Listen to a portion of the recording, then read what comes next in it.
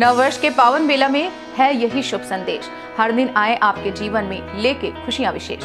आप सभी क्षेत्रवासियों को विकास खंड विजयपुर के अवर अभियंता, ग्रामीण अभियंत्रण सेवा संचय श्रीवास्तव की ओर से नव वर्ष व मकर संक्रांति की हार्दिक शुभकामनाएँ।